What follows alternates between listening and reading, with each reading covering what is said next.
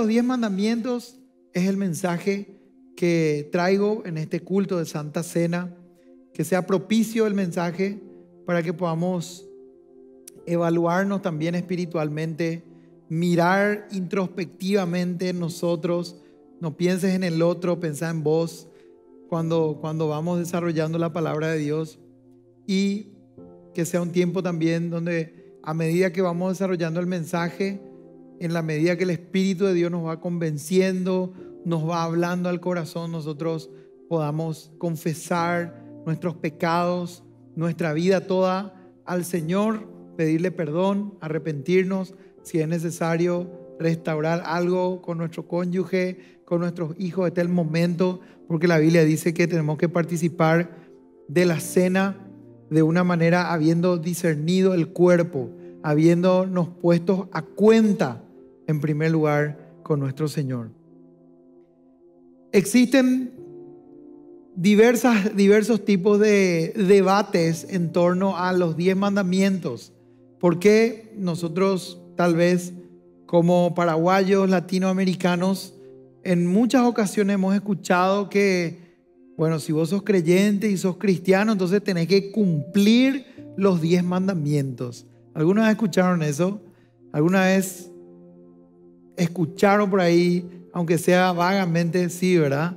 Es muy cultural que nosotros tenemos que de repente vivir o, comportarnos de acuerdo a los diez mandamientos. Pero resulta ser que si eso fuese así, en primer lugar, en vano vino Cristo a morir por nuestros pecados y a resucitar al tercer día. Porque si nosotros pudiésemos cumplir a cabalidad los diez mandamientos, probablemente no nos ganaríamos la salvación por méritos propios. Pero los diez mandamientos tienen una hermosa función. casi, casi le llamé a la gente de comunicaciones a pedirle que me pongan acá un espejo, de esos espejos que a veces tenemos en la habitación, que nos ayuda a mirarnos todo el cuerpo, porque esa es la función que cumplen los diez mandamientos en nuestra vida. Sirve para que nosotros podamos mirarnos a la luz de la palabra de Dios y comparar un poco nuestra vida y nuestras acciones y mirar un poco cómo estamos espiritualmente delante de Dios. O sea que sí, siendo creyentes, los diez mandamientos tienen una función preciosa en nuestra vida y podemos tomarlo como un perfecto maestro, como un perfecto tutor en nuestra vida. Alguien que en algún momento estuvo en la facultad y hizo alguna tesis, va a saber ¿De qué estoy hablando cuando me refiero a un tutor? La Biblia le llama ayo. La palabra ayo se traduce como tutor. Es alguien que te está guiando por si te, te desvías del camino para que vos cumplas lo que la mesa examinadora de la facultad espera de vos. ¿Es o no así? Eso es lo que la función del tutor. El tutor no hace el trabajo por vos. El tutor te guía para que vos puedas caminar por un sendero para llegar a cumplir los requisitos de la mesa examinadora y alcanzar un buen puntaje en tu examen, que es el trabajo de grado. Hablando de ese ejemplo, la pregunta que quiero hacer es, ¿todavía son los diez mandamientos relevantes para la vida del cristiano? Vamos a mirar lo que dice la palabra de Dios. Existe una gran discusión importante sobre este punto en círculos cristianos. Sin embargo, recordamos lo que, eh, sin embargo, recordamos que Cristo dijo que Él no vino a abolir la ley, sino a cumplirla. Y miremos lo que dice la palabra de Dios en Mateo capítulo 5, verso 17. Por favor, pónganme el temporizador, porque si no me convierto en el predicador del Evangelio eterno. y ahí ya no nos vamos más a nuestras casas. Mateo capítulo 5, verso 17. Dice así en la versión Nueva Traducción Viviente. No malinterpreten la razón por la cual he venido. No vine para abolir la ley de Moisés o los escritos de los profetas. Al contrario, vine para cumplir sus propósitos. La palabra abolir, según el diccionario, significa suspender, o dejar sin vigor una ley o una costumbre mediante una disposición legal. Por ejemplo, abolir la pena de muerte. Entonces significa la palabra abolir suspender o dejar sin vigor una ley o una costumbre mediante una disposición legal. Y Jesús está diciendo, yo no vine a suspender o a dejar sin vigor la ley de Moisés o los escritos de los profetas. Al contrario, vine para cumplir sus propósitos. De hecho, Jesús es el cumplimiento más claro y evidente para nosotros de que todo lo que Dios dijo en el Antiguo Testamento, todas las promesas, toda la ley, todo el diseño de adoración era verdad y se cumplió y se confirmó en el Señor Jesucristo. Es por eso que si tal vez Él venía a decir, bueno, esa ley estaba en aquel tiempo, pero ahora está suspendido ya eso. Ahora vamos ya a otra cosa. Él iba a estar yendo en contra de Él mismo. Y la Biblia dice que Dios no puede contradecirse. Entonces, él vino para cumplir la ley. Él era el cumplimiento. Pero también se sujetó a la ley y la vivió de manera perfecta. Siendo Dios hecho hombre, la vivió de manera perfecta. Y todavía más, porque él era un rabino judío, cumplió y vivió según la ley civil del pueblo de Israel, la ley ceremonial del pueblo de Israel, que es la ley religiosa y todo el sistema de adoración por los sacrificios que existían en aquel tiempo. Cumplió y vivió la ley moral del pueblo de Israel que conocemos como los diez mandamientos. Siempre cuento esta historia y me parece muy interesante para que podemos de alguna manera llegar a entender todo el contexto, porque la pregunta que muchas veces surge es, ¿y qué ocurría con esa gente de la antigüedad que tal vez vivía en el Antiguo Testamento, eran judíos, muchos de ellos serios judíos, pero ellos morían sin haber visto el cumplimiento de la promesa de Dios de salvación por medio de ese Mesías. ¿Qué pasaba con esa gente? Muy bien, ellos vivían según toda la tradición, todas las leyes judías, la religión judía, pero llegaba un punto donde en su vida donde eran sinceros delante de Dios y reconocían que tal vez no tuvieron problema con la ley civil, la cumplieron a rajatabla. Tal vez no, tuvieron problemas o tuvieron muy pocos problemas con la ley ceremonial porque cumplían todo lo que tenía que ver con la religión. Pero había ciertos problemas con la ley moral. Porque tarde o temprano, si eran sinceros y maduros en su manera de pensar, se llegaban a dar cuenta de que no, no alcanzaban la talla, como se dice llegaban a no poder cumplir del todo, o si cumplían uno, incumplían otro. Y la Biblia dice que un solo punto de la ley que erramos nos hace culpable de todos.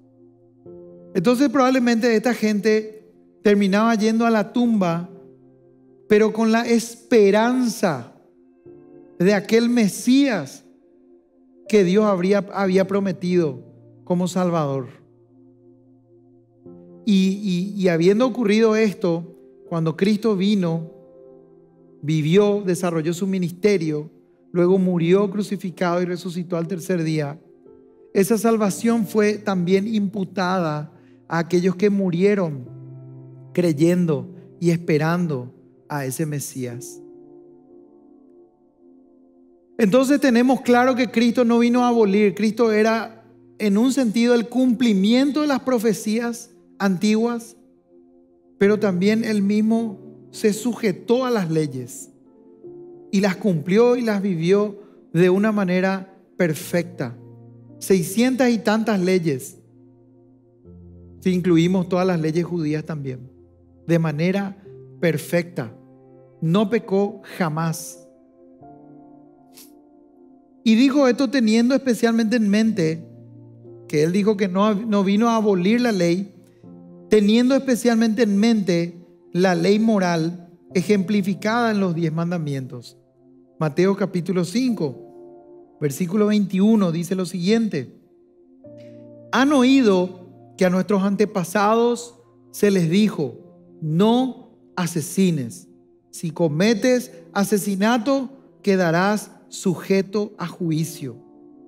Luego el versículo 27 de ese mismo capítulo dice, han oído el mandamiento que dice, no cometerás adulterio. Mientras más entendemos la ley, más amaremos y serviremos a nuestro Salvador. Los diez mandamientos nos enseñan algo acerca de Cristo. Lucas 24, 27 dice así.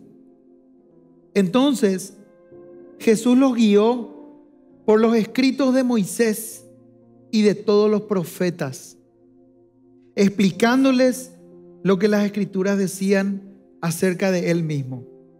Mientras más entendemos la ley de Dios, mientras más estudiamos la ley de Dios, mientras más memorizamos la ley de Dios, mientras más nos atrevemos a vivir por ellas, pero estando ya en Cristo, porque eso es algo que entendemos que entenderlo bien también, más vamos a tener una, un conocimiento del carácter de Dios y por ende un amor y una confianza total y plena hacia la obra de Cristo en nuestras vidas.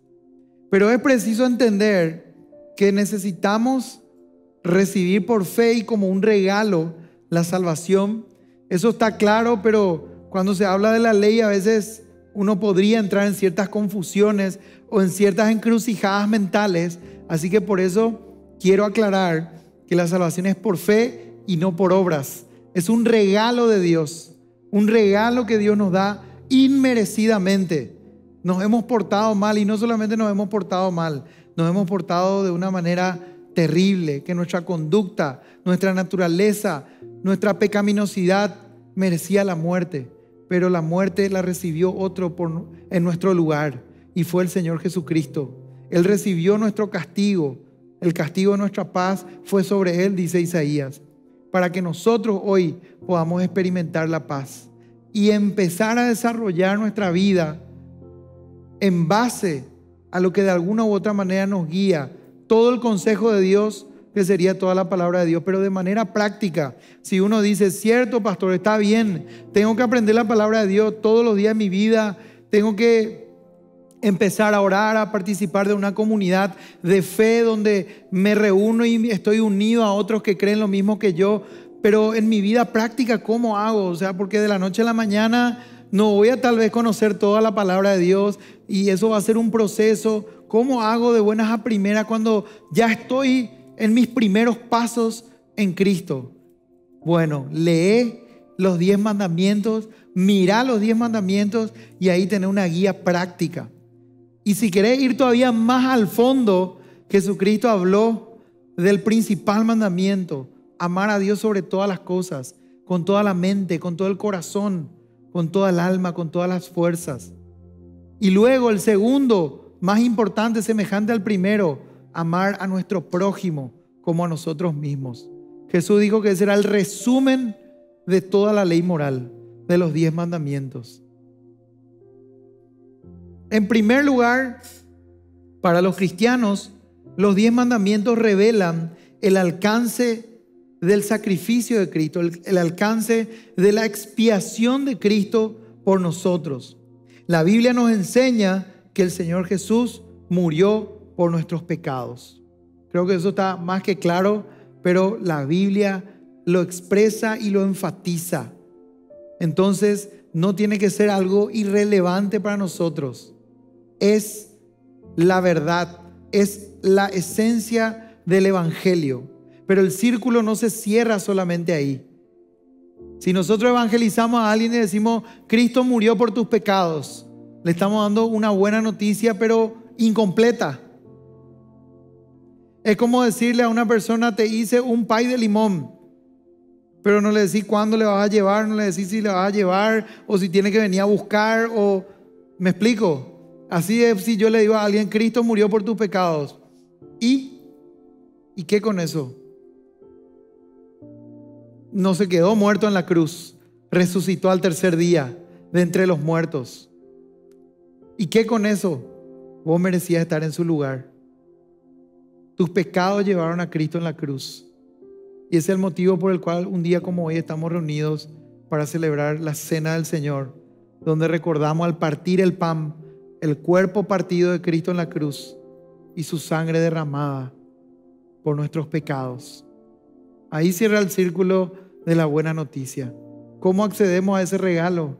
Por fe, con arrepentimiento y fe, con un cambio de mentalidad y con esperanza, con confianza en que eso realmente fue así, que fue un hecho, que fue veraz, que ocurrió y que lo hizo por nosotros, para la gloria de Dios, no para la gloria de los hombres. Primera Corintios capítulo 15, versículo 3.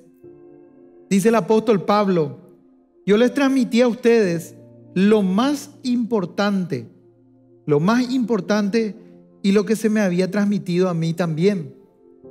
Cristo murió por nuestros pecados tal como dicen las escrituras. Pablo no venía a descubrir la pólvora delante de los corintios.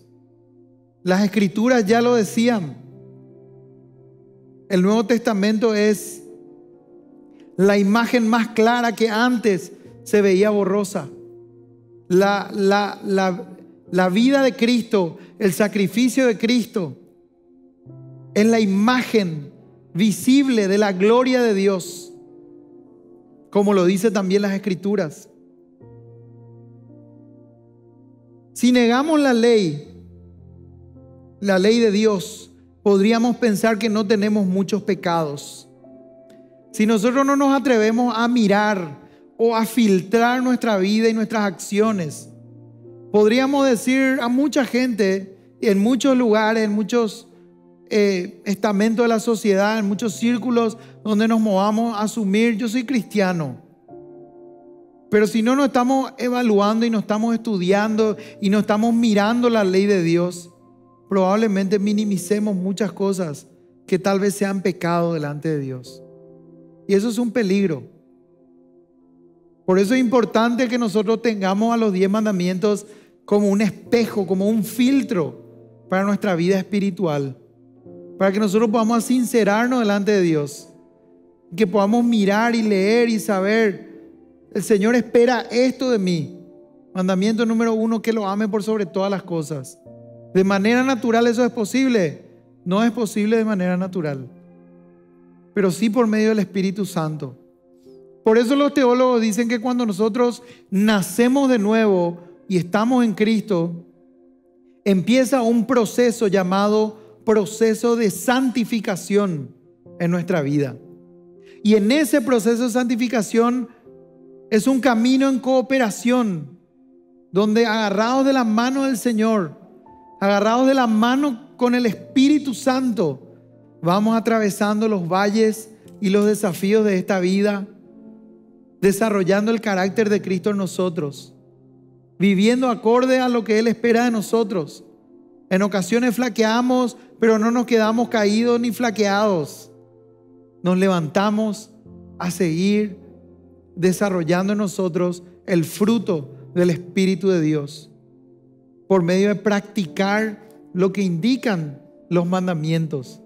Jesús dijo, el que me ama va a guardar mis mandamientos. Guardar los mandamientos no es vos leer los mandamientos y doblar la hoja, guardar y te vas a vivir tu vida como vos querés. Guardar los mandamientos significa atesorarlos, admirarlos, anhelarlos y también, por supuesto, practicarlos. Para que, como dice Santiago, no seamos solamente oidores olvidadizos, sino hacedores de la palabra.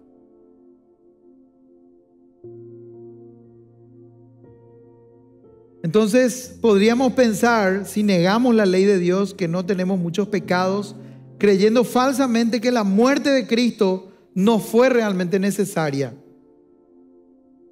A ese tipo de pensamiento podríamos llegar si es que evitamos la ley de Dios. Sin embargo, cuando nos damos cuenta que todas, de todas las implicaciones, entendemos más claramente lo que Cristo soportó en la cruz por nosotros. Romanos capítulo 3, versículo 20 dice así. Pues nadie llegará jamás a ser justo ante Dios por hacer lo que la ley manda. Nadie llegará jamás a ser justo ante Dios por hacer lo que la ley manda. Es decir, que vos y yo delante de Dios no podemos acumular puntos por decirle, mira Señor que hoy cumplí el mandamiento de amarte por sobre todas las cosas. Mira Señor que hoy no adulteré, hoy no robé, hoy le honré a mis padres, hoy tuve un, eh, traté de pensar bien todo el día. Esas cosas no cuentan de ninguna manera delante de Dios para que nosotros alcancemos méritos o que nos hagamos justos delante de Dios. La palabra de Dios nos aclara, nos aclara muy bien esto. La ley sencillamente nos muestra lo pecadores que somos. ¿Se acuerdan del ejemplo que recién les puse, el espejo, donde nos miramos? Eso es lo que hace la ley. Nos muestra lo pecadores que somos. Pero lo interesante de la Biblia, la palabra de Dios, es que nunca nos deja ahí humillados, tirados en el piso con nuestra realidad de pecado. Porque si eso fuese así y si somos sinceros, tal vez hay mucho dolor cuando nosotros tenemos que aceptar y enfrentar que somos pecadores y que somos malos. De hecho, al decir esto nomás luego a más de uno estoy seguro que medio le choca, ¿verdad? Somos malos, gente. Somos malos, tenemos una naturaleza caída. Enfrentarnos con esa realidad es difícil, pero la palabra de Dios nos ayuda. En primer lugar, Dios como un Padre amoroso nos muestra esa, esa verdad, nos muestra el cáncer que está matando nuestra alma, que es el pecado, pero nunca nos deja así. El Señor no nos suelta hasta que nos da la medicina de la esperanza por medio de Cristo Jesús. Algunos la toman, otros la rechazan, otros dicen, yo sé que esa es la medicina para mi vida, pero voy a vivir todavía mi vida como yo quiero y después recién voy a tomar el mensaje del Evangelio, la medicina del Evangelio para mi alma. Todavía no es mi tiempo, dice. ¿Y dónde uno sabe cuándo es el tiempo? La Biblia dice que en Dios están los tiempos que en el Señor están nuestros tiempos. Les pido a mis hijas que se queden quietitas, por favor. Por favor, niñas. Romanos 3, seguimos ahí, versículo 20. Sencillamente la ley nos muestra los pecadores que somos, pues Dios ofreció a Jesús como sacrificio por el pecado. Las personas son declaradas justas a los ojos de Dios cuando creen que Jesús sacrificó su vida al derramar su sangre. Ese es el versículo 25 de Romanos 3. Las personas son declaradas justas a los ojos de Dios cuando creen que Jesús sacrificó su vida al derramar su sangre. Ese sacrificio muestra que Dios actuó con justicia cuando se contuvo y no castigó a los que pecaron en el pasado. Dios cargó ese pecado y ese castigo sobre Jesús. Cristo murió por todos nuestros pecados, sufriendo la pena total. La pena total de lo que nuestra culpa merecía. Por lo tanto, cuanto más claramente entendamos los diez mandamientos, más agradecidos estaremos con Dios por habernos libertado a través de la muerte de Cristo.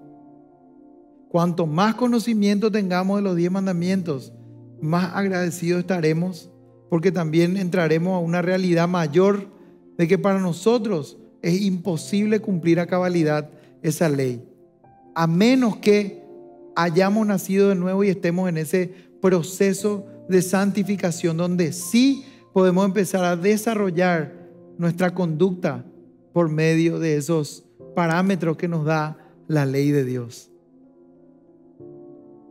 Es interesante, pero es la realidad espiritual de nuestra vida. El ser humano tomó la decisión de definir lo que es bueno y malo en sus propios términos, cuando en el Edén Dios le dijo, de este árbol no coman, ¿Y, qué ocurrió? Ustedes saben la historia. De ese árbol comieron. Ahí le estaban diciendo a Dios, salí nomás de la agenda, Señor, salí nomás del mapa. nosotros vamos a empezar a definir lo que es bueno y malo en nuestros propios términos. Digamos si no es así o no en nuestras vidas. Antes de Cristo, queremos definir todo lo que es bueno y malo en nuestros propios términos. Y aún de creyentes muchas veces luchamos con eso. No siempre estamos dispuestos a definir lo que es bueno y malo según los términos de nuestro Señor. Pero justamente ese es el llamado que nos hace que nos hacen los diez mandamientos, definir lo que es bueno y malo según los criterios y el carácter de Dios y no según el nuestro.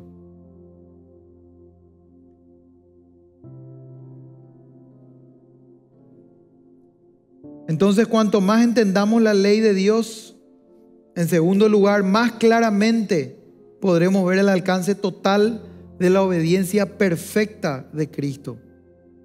La Biblia nos asegura que, aunque el Señor Jesús fue nacido de mujer y nacido bajo la ley, como dice Gálatas 4:4, si alguien está anotando, cumplió absolutamente toda justicia Mateo capítulo 3, versículo 15. Dice, pero Jesús le dijo, así debe hacerse porque tenemos que cumplir con todo lo que Dios exige.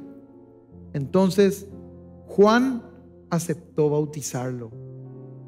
Así debe hacerse porque tenemos que cumplir con todo lo que Dios exige.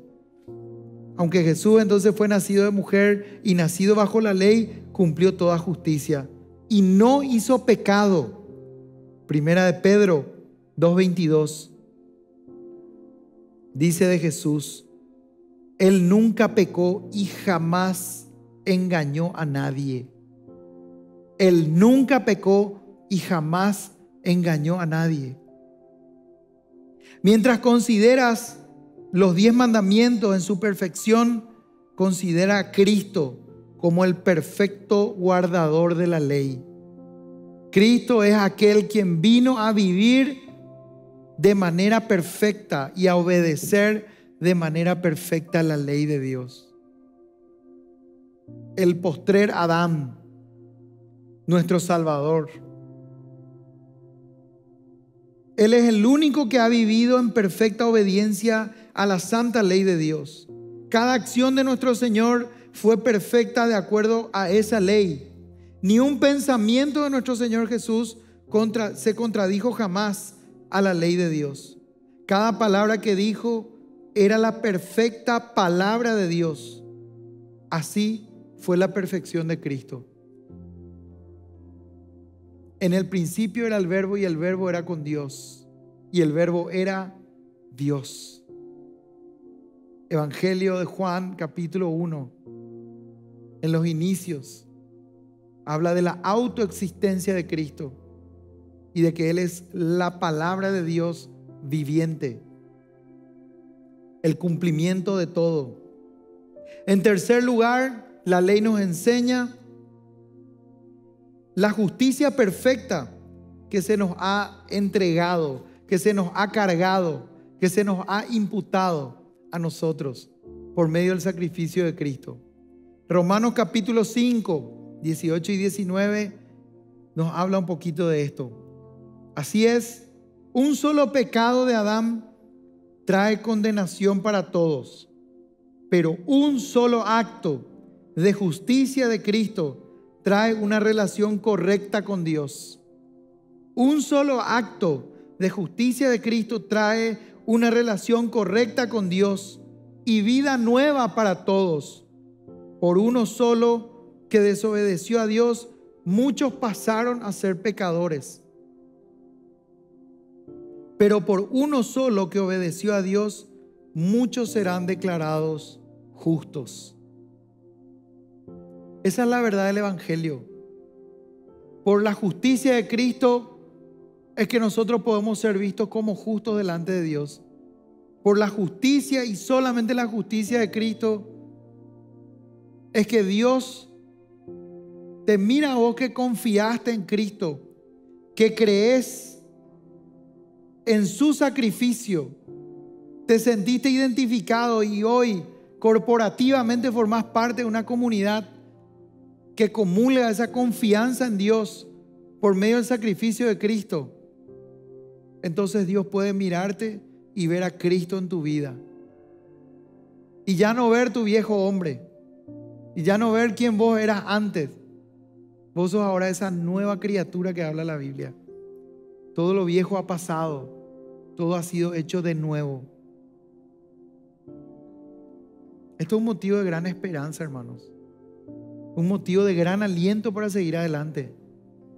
Para entender que los propósitos eternos de Dios se cumplirán aún a pesar de nosotros. Y que tan solo nosotros necesitamos todos los días de nuestras vidas bastarnos en la gracia de Dios. Porque su poder se perfecciona en tu debilidad. El apóstol Pablo lo reconocía. Y él decía tal vez todos los días, miserable de mí, ¿quién me librará de este cuerpo de muerte? Porque lo que quiero hacer no hago. Y lo que no quiero hacer hago. Claro, Pablo no estaba hablando ahí de una licencia para pecar abruptamente ofendiendo a Dios. Estaba hablando de una naturaleza caída que constantemente está ahí relinchando, queriendo ir en contra de la ley justamente de Dios. Pero el Espíritu Santo nos fortalece para seguir practicando los puntos de los mandamientos aquellos que Dios diseñó para que sean como un tutor, como un ayo para nuestra vida de victoria en Cristo.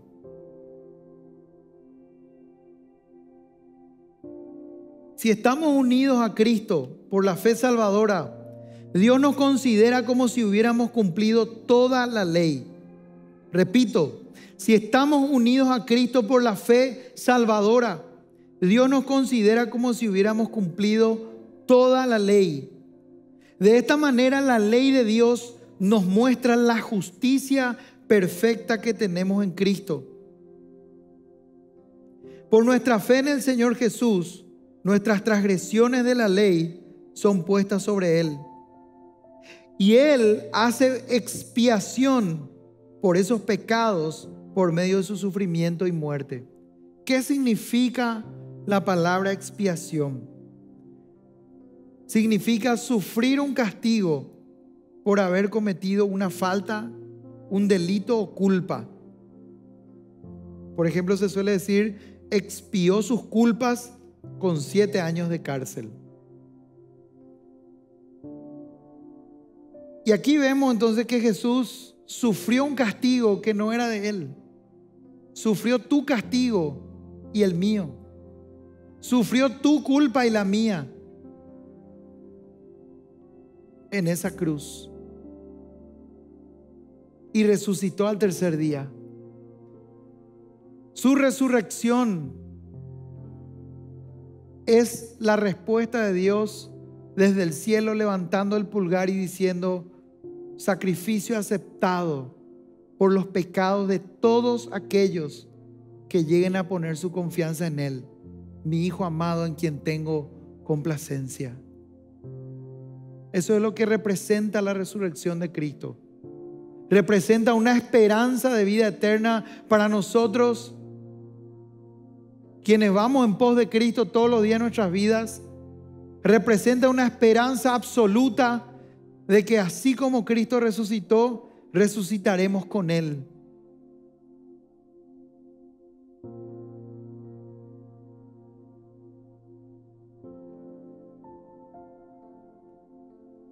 Pero también por la fe en Él, su obediencia perfecta de la ley es cargada sobre nosotros.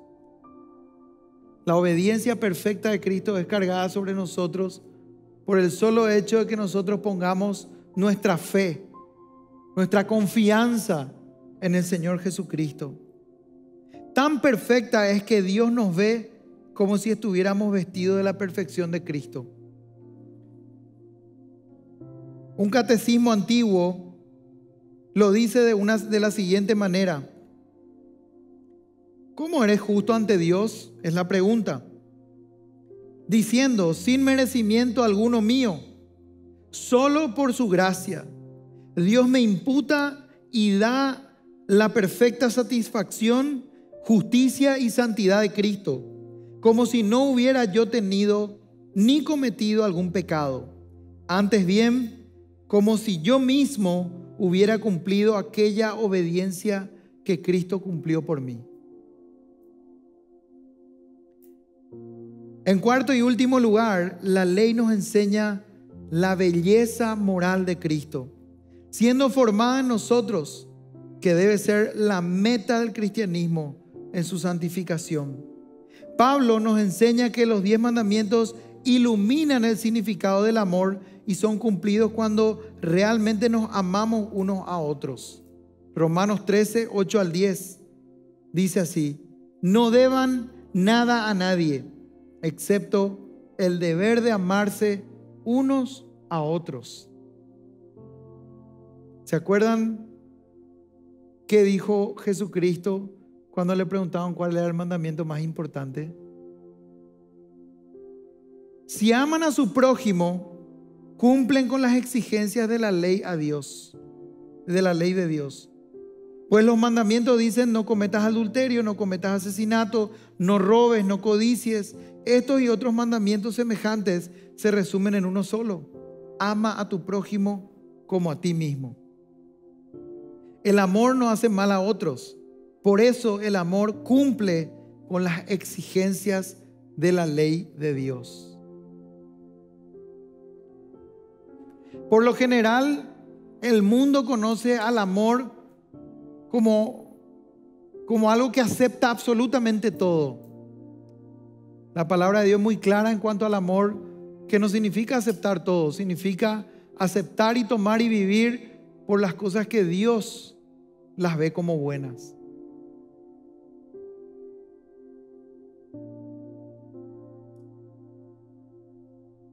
Vestidos del Señor Jesucristo, dice unos versículos abajo de este que acabamos de leer y no proveáis para los deseos de la carne. Por lo tanto, vestimos más y más de Cristo cuando al contemplarlo por fe obedecemos la ley de Dios y somos cada vez más como Él. La vida cristiana es ir creciendo en la gracia y en el conocimiento de Cristo, en la madurez de que habíamos vivido nuestra vida como nosotros queríamos definiendo lo que es bueno y malo en nuestros propios términos, como ya lo mencionamos, pero estamos en Cristo y entonces cada día nos vamos conformando más y más y más a Él, hasta llegar a esa estatura del varón perfecto que es en Cristo Jesús, como lo dice el libro de Efesios. Amén, hermanos. Cuando escuches los diez mandamientos, piensa en el Señor Jesucristo. Piensa en tus transgresiones de la ley y cómo Cristo hizo una expiación por ellas. Cómo Cristo en vez de hacerte pagar a vos tu culpa, pagó Él tu culpa. Eso te dará un corazón totalmente agradecido para con Él.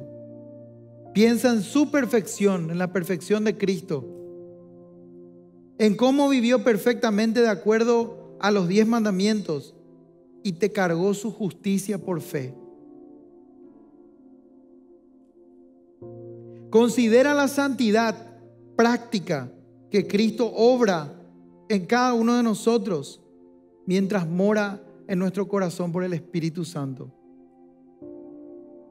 Eso nos hará darnos cuenta de que Cristo para nosotros es absolutamente todo en todo.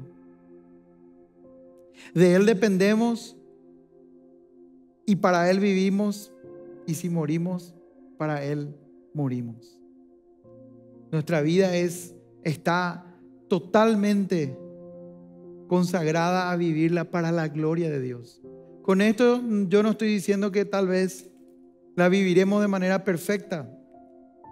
Tenemos muchos desafíos por delante, hay muchos detalles que al evaluarnos delante de Dios y al mirar justamente los diez mandamientos decimos, wow, cuánto me falta aquí, cuánto me falta allá, Señor, yo necesito tu intervención urgente en mi corazón. Mis motivaciones, mis pensamientos, mis anhelos, muchas veces no están centrados en vos. Y la Biblia dice que Dios renueva sus misericordias cada mañana como una oportunidad para que podamos restablecer nuestra conexión, nuestra comunión con Él, que podamos vivir según sus criterios y según, no según los nuestros, por el poder del Espíritu Santo que obra en nuestro corazón. Y no tan solo por nuestra propia única fuerza o estrategia. Créeme que el que más está interesado en que vos vivas una vida de victoria sobre el pecado y una vida plena cristiana es el Señor. ¿Cómo Él no nos va a ayudar si le pedimos y le rogamos que lo haga? Que nos unja con su espíritu y que nos ayude a vivir en el espíritu y no en la carne.